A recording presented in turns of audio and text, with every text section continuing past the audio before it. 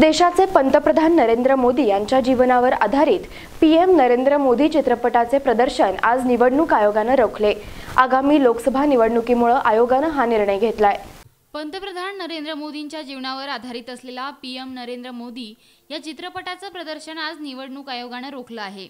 या चित्रपटाला सेन्सॉर बोर्डानं यू प्रमाणपत्र दिलं होतं. चित्रपटाचं प्रदर्शन रोखण्यासाठी दाखल केलेली याचिका सुप्रीम कोर्टानं फेटाळली होती. लोकसभा निवडणुकीच्या काळात चित्रपटाच्या प्रदर्शनावर स्थगिती आणण्याची मागणी करण्यात आली होती.